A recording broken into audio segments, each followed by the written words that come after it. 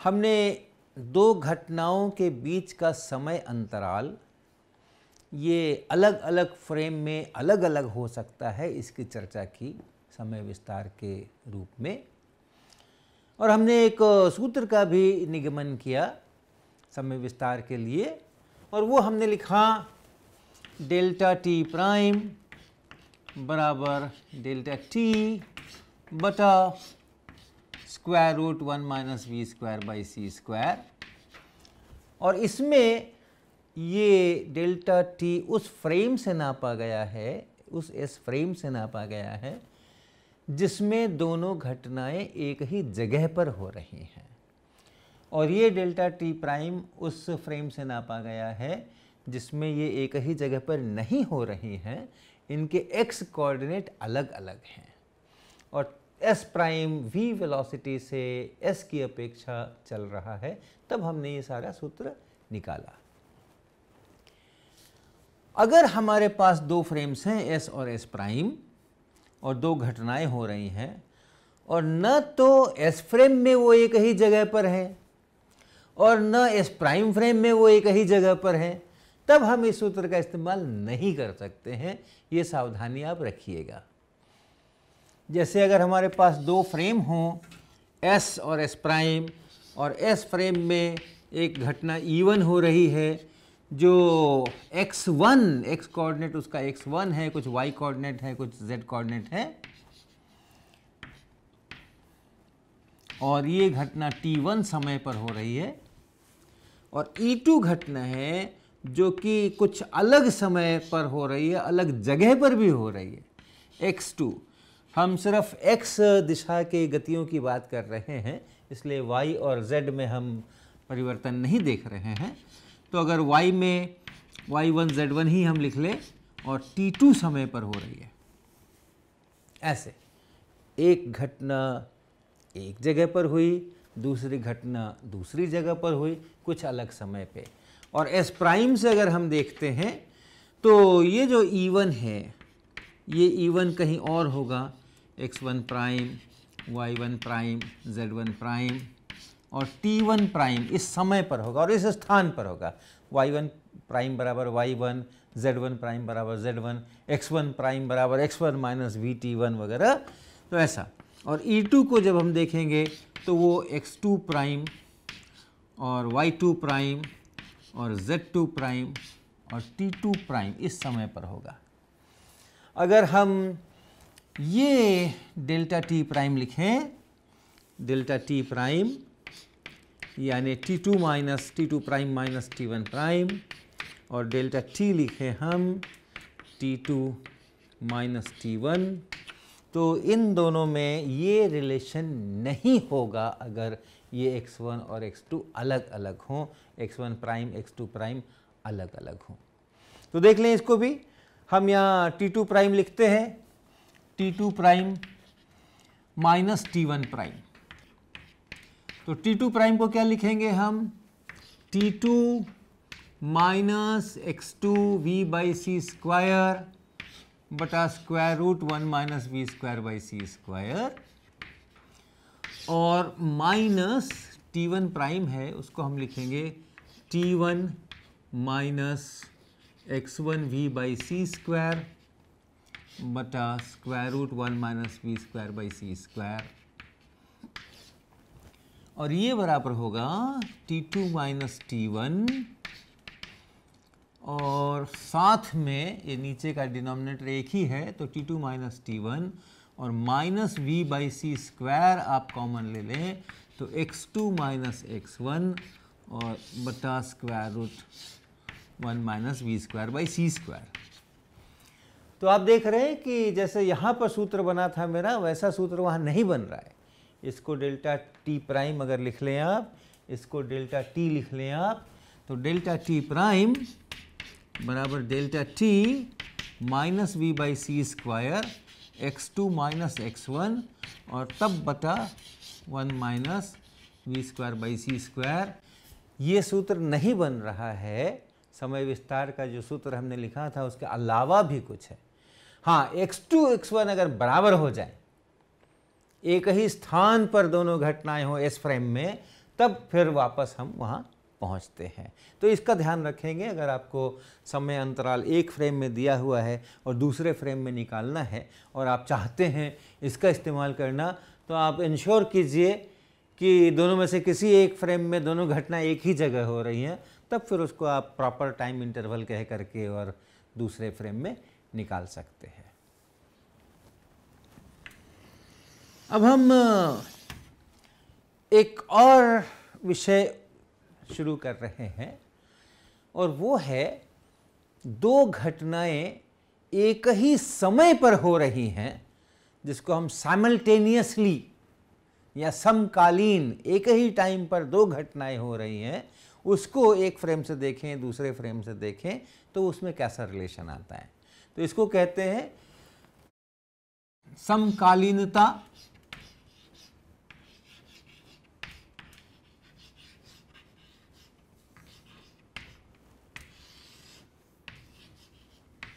की आपेक्षिकता।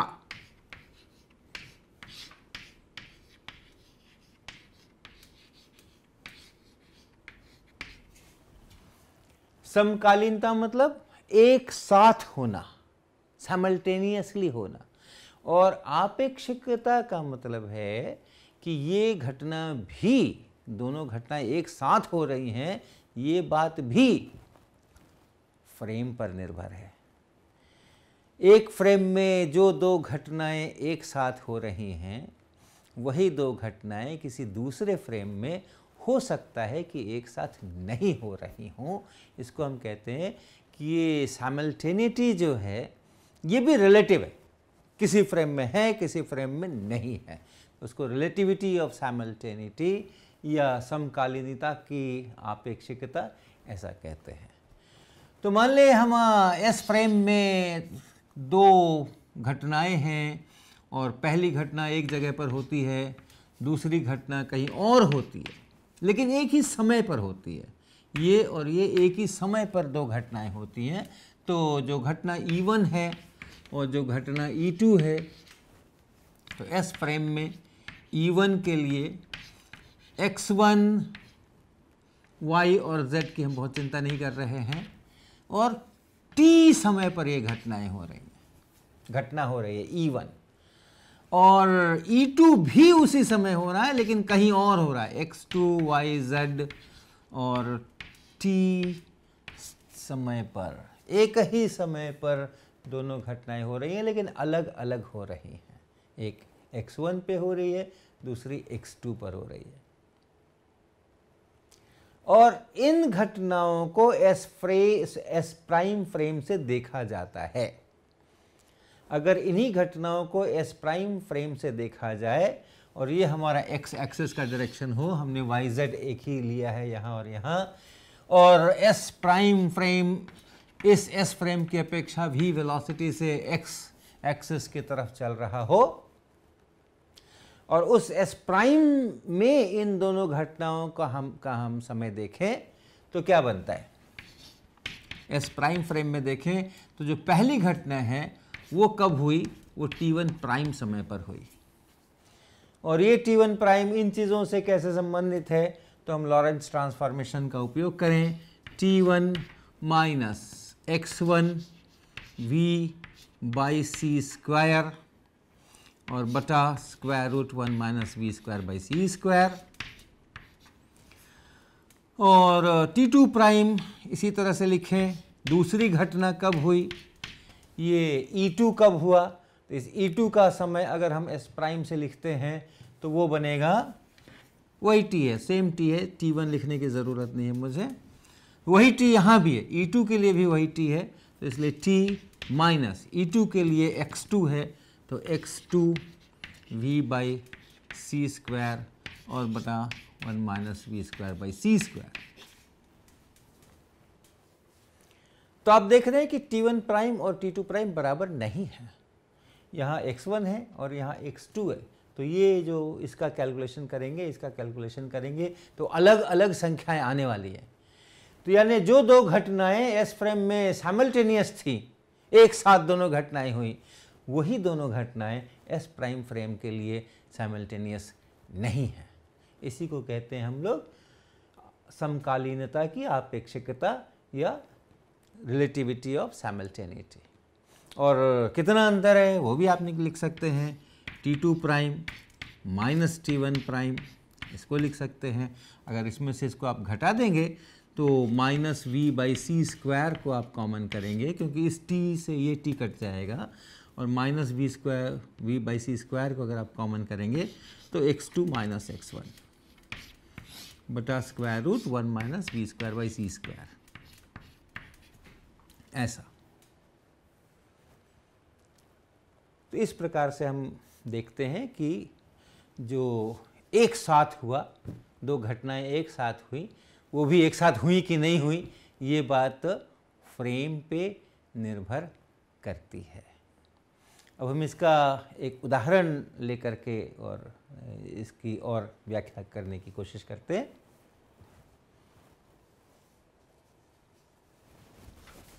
फिर से हम एक थॉट एक्सपेरिमेंट की चर्चा करते हैं।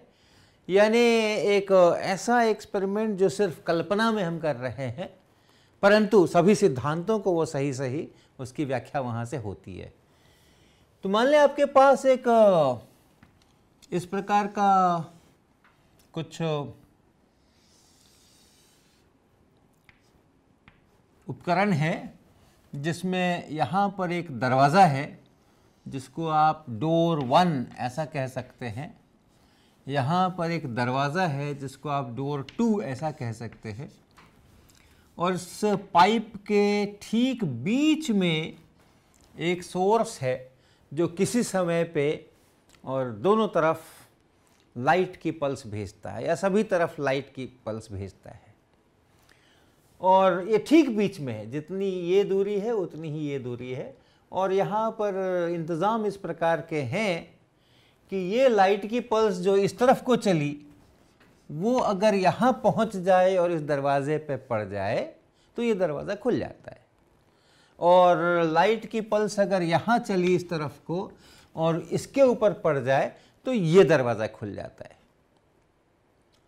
तो अब बताएँ, अगर हम इस फ्रेम में काम कर रहे हैं जिसमें कि ये पूरा मेरा उपकरण स्थिर है इस फ्रेम में तो यहाँ से जब हम पल्स जनरेट करेंगे, यहाँ से जब हम ऑन करेंगे तो एक क्षण क्षण के लिए और लाइट फैलेगी और इस तरफ़ भी चलेगी, इस तरफ़ भी चलेगी। तो पहली घटना है इवेंट इवन दरवाज़ा D1 खुल गया। और दूसरी घटना है दरवाज़ा D2 खुल गया। तो ये एक साथ हो रही हैं, या D1 पहले खुल रहा है, या D2 पहले खुल रहा है। तो इसको अगर हम देखें तो इस फ्रेम से अगर हम काम करते हैं, जिसमें ये पाइप स्थिर है, ये उपकरण स्थिर है, और ये ठीक बीच में है, ये ठीक बीच में है तो इसको यहाँ से यहाँ तक आने में जितना समय लगेगा और इसको यहाँ से यहाँ तक जाने में जितना समय लगेगा, वो बराबर होगा। क्योंकि लाइट एक ही वेलोसिटी से सभी तरफ़ चलेगी, इधर को भी सी वेलोसिटी से और इधर को भी सी वेलोसिटी से। तो जब भी यहाँ पर हमने स्विच ऑन किया और यहाँ से पल्सेस निकले तो उस समय से जितनी देर के बाद यहाँ ये लाइट पहुँचेगी, ठीक उतनी ही देर के बाद ये लाइट यहाँ पहुँचेगी। इसलिए D1 और D2 एक साथ खुलेंगे। तो हमने इस फ्रेम में, इस फ्रेम को आप कुछ कह सकते हैं, इसको आप एस फ्रेम ऐसा नाम दे सकते हैं, जो पाइप का अपना फ्रेम है, इस उपकरण का अपना फ्रेम है। तो इस एस फ्रेम में अगर हम बात करेंगे और हमारी घटनाएँ क्या हैं? D1 दरवाज़ा खुल गया। और दूसरी घटना है D2 खुला D2 दरवाज़ा खुला। और ये दोनों साइमल्टेनियस हैं। दोनों दरवाजे एक साथ खुलते हैं। ये खुलता है, उसी समय में वो भी खुलता है। साइमल्टेनियस है।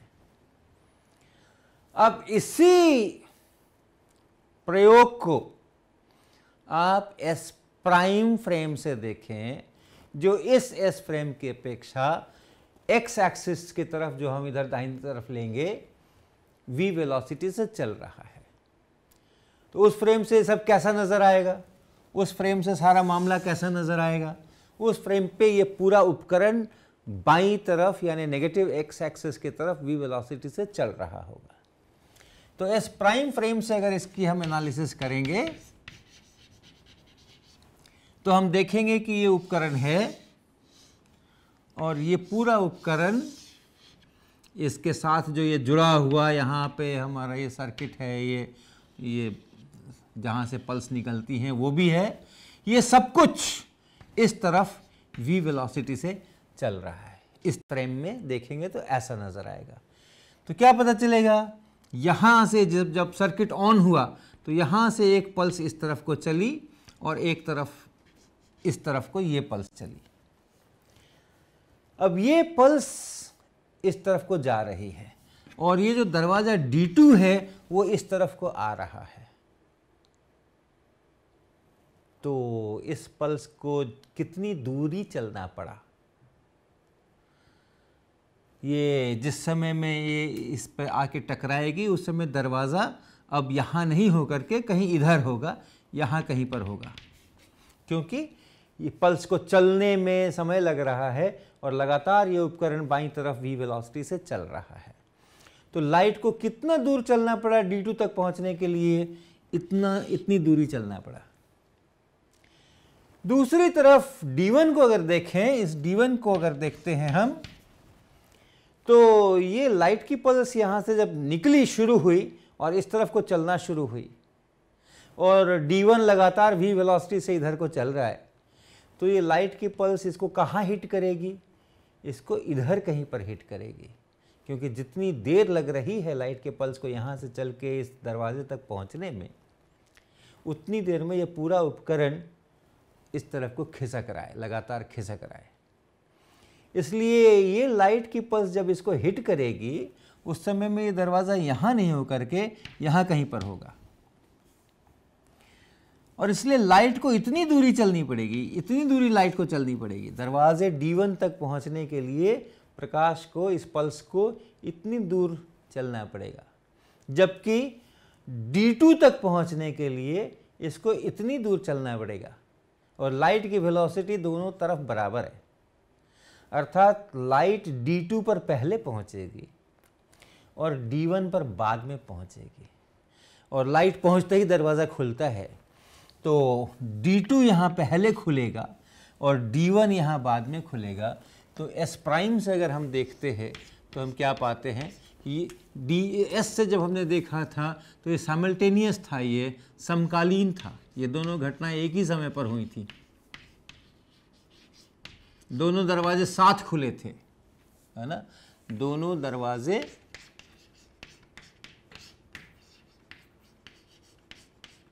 एक साथ खुले थे।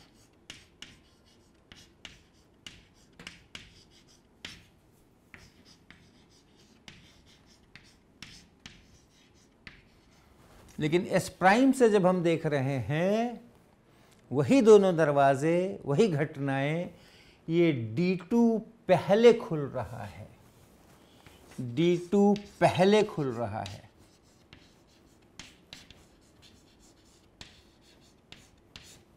और D1 बाद में खुला।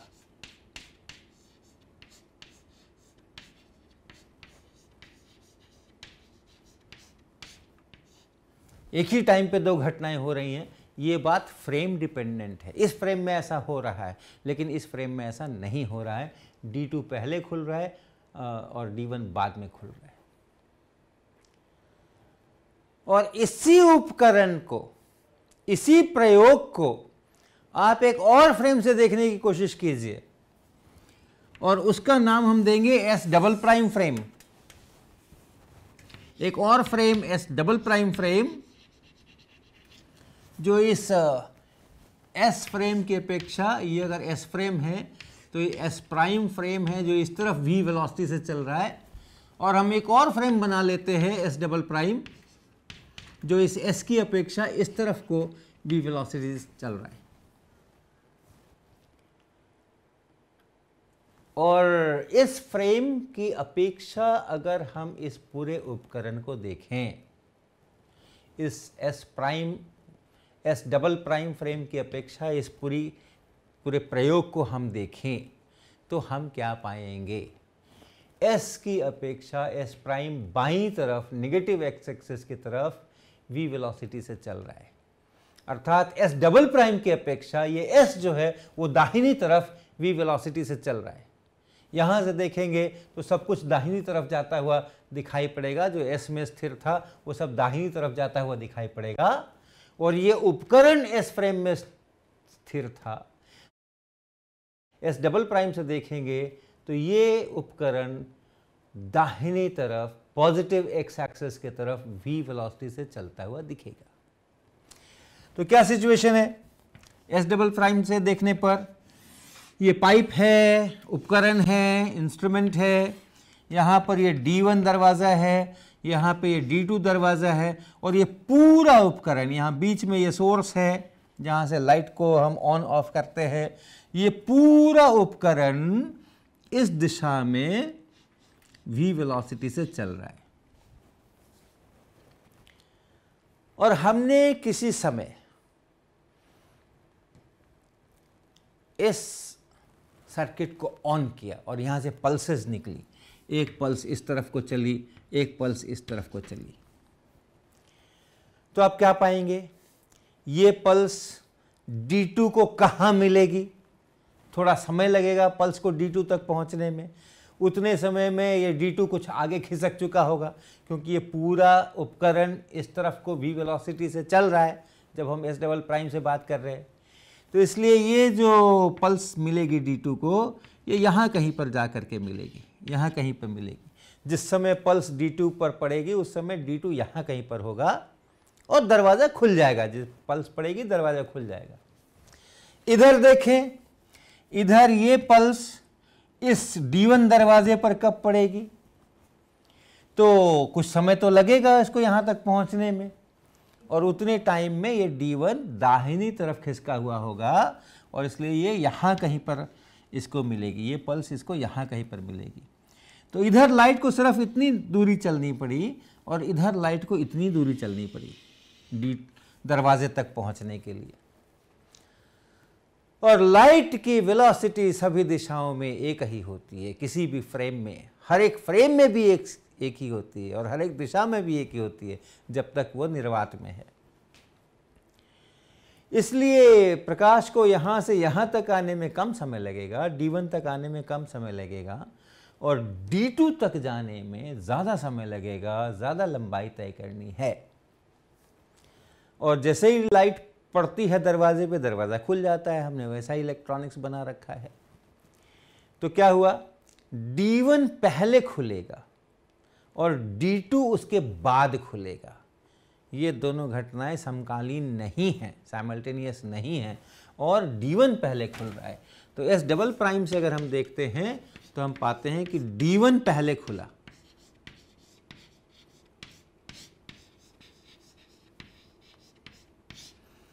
और D2 बाद में खुला।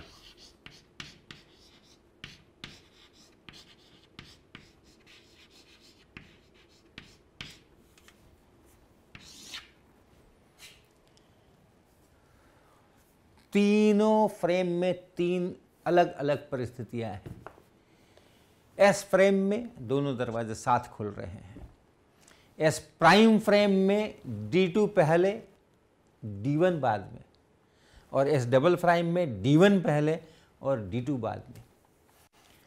तो न केवल घटनाएँ समकालीन या असमकालीन हो जाती हैं फ्रेम बदलने से, एक फ्रेम में सामल्टेनियस हैं, दूसरे फ्रेम में सामल्टेनियस नहीं रह जाती हैं उनके उनका क्रम भी बदल सकता है।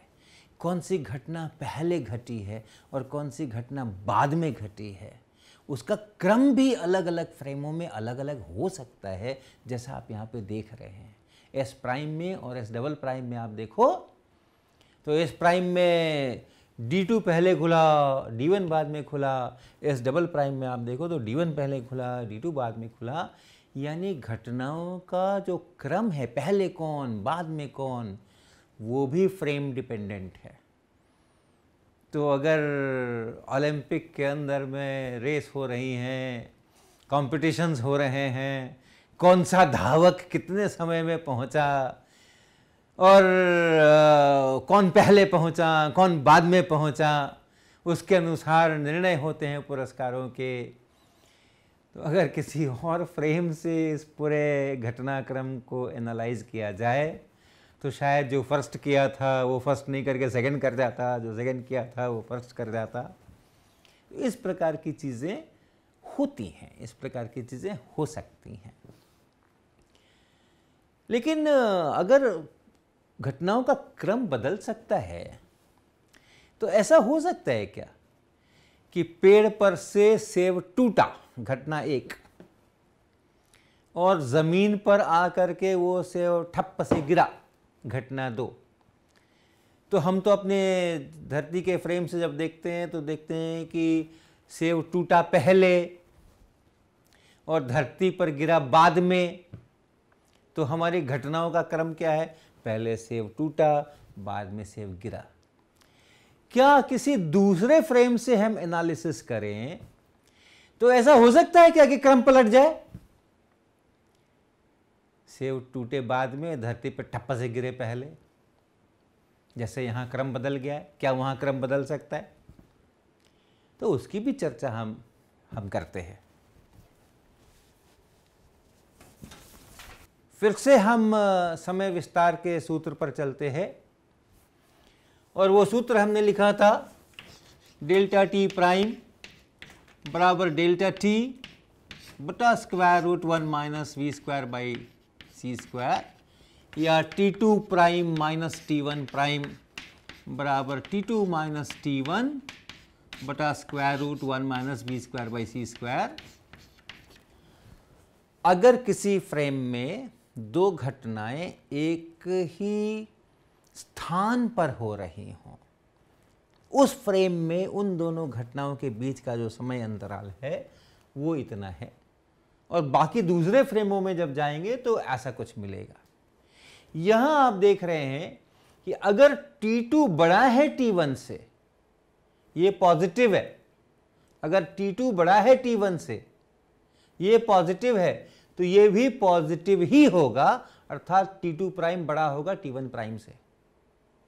अगर दूसरा सेकंड वाला जो इवेंट है E2 वो बाद में हुआ है और E1 पहले हुआ है इस फ्रेम में। तो हर एक दूसरे फ्रेम में E2 बाद में ही होगा और E1 पहले ही होगा, क्योंकि इसके चिन्ह के बदलने की कोई गुंजाइश नहीं है। तो यानी अगर हमारे दो इवेंट्स किसी फ्रेम में एक ही जगह पर हो जाएँ, तो उनके बीच का समय अंतराल अलग अलग फ्रेम में बदल तो सकता है लेकिन क्रम नहीं बदल सकता है। ऑर्डर ऑफ़ इवेंट्स कौन पहले कौन बाद में ये नहीं बदल सकता है। तो हम सेव के टूटने और ज़मीन पर गिरने की घटना को सोचें। अगर सेव यहाँ कहीं से गिरा तो घटना E1 यहाँ कहीं से गिरा और गिर करके ज़मीन के ऊपर उसने यहाँ पर हिट किया। ये घटना E2 ज़मीन के फ्रेम पे, धरती के फ्रेम से अगर देख रहे हैं तो ये घटनाएँ अलग अलग जगहों पर हो रही है और अलग अलग समय पे हो रही है। लेकिन मान ले ये H ऊंचाई से गिरा। ज़मीन के फ्रेम में जो समय का अंतर है, वो कुछ अंतर टी ज़ीरो है। यानी ये टी बराबर ज़ीरो पे यहाँ से टूटा और ये टी बराबर टी ज़ीरो पर यहाँ पर ये पहुँचा। और अब आप एक ऐसे फ्रेम की कल्पना करें जो कि इस दिशा में ज़मीन की अपेक्षा v बराबर एच बटा टी ज़ीरो इतने वेलोसिटी से नीचे आ रहा है, इस प्रकार के फ्रेम की आप कल्पना करें।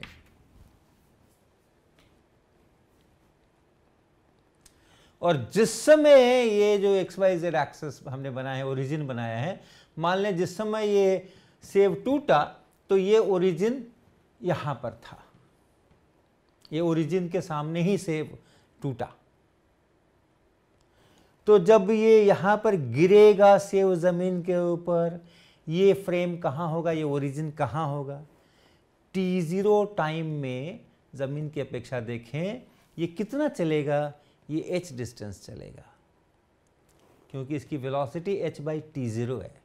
तो टी ज़ीरो समय में ये कितना चलेगा? वेलोसिटी इनटू टाइम तो h by t naught into t naught यानी h दूरी चलेगा।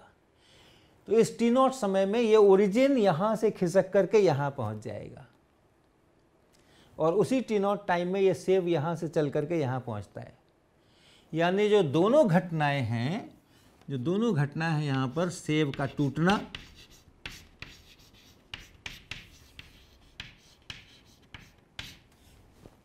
ये घटना हम E1 कह सकते हैं। ये कहाँ पर हुई है? X प्राइम बराबर ज़ीरो पर हुई है। इसमें जो कोऑर्डिनेट्स है, उसको हम s प्राइम x प्राइम लिख रहे हैं। X प्राइम बराबर ज़ीरो वाई प्राइम बराबर ज़ीरो z प्राइम बराबर ज़ीरो यहाँ पर हुई है।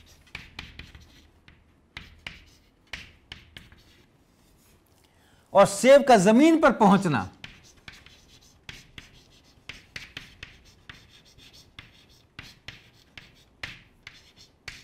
ये घटना कहाँ पर हुई है?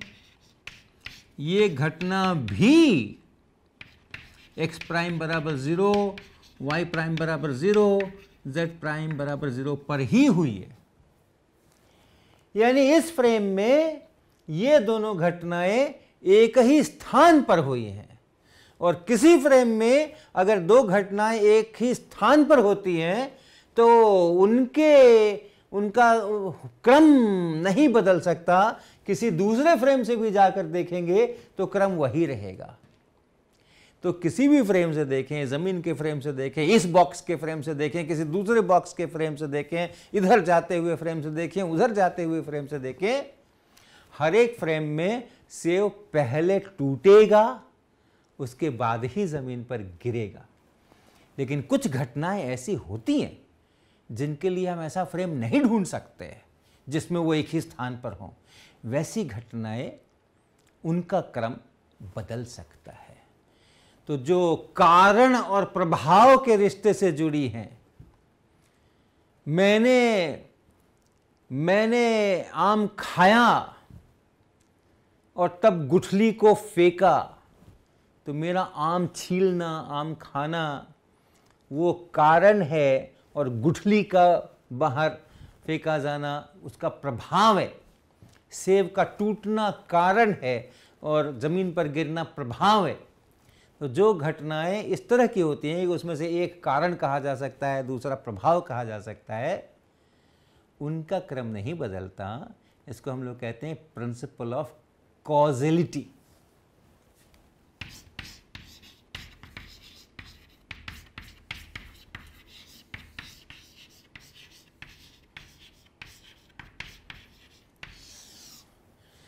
अनेक ऐसी घटनाएँ हो सकती हैं जो अलग अलग फ्रेम में अलग अलग उनका क्रम हो, लेकिन ऐसी भी घटनाएँ होंगी जो इस प्रकार के रिश्तों से जुड़ी हैं, जिनके क्रम नहीं बदले जा सकते।